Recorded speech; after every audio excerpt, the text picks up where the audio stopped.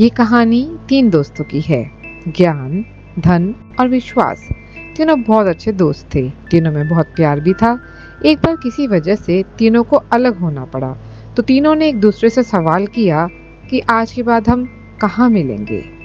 तो इस पर ज्ञान ने कहा, मैं मंदिर, मस्जिद और किताबों में मिलूँगा। धन ने कहा, मैं अमीरों के पास मिलूँगा। विश्वास चुप रहा और कुछ नहीं बोला। जब दोनों दोस्तों ने उससे चुप रहने का कारण पूछा तो विश्वास ने रोते हुए कहा, मैं एक बार चला गया तो फिर कभी नहीं मिल पाऊँगा।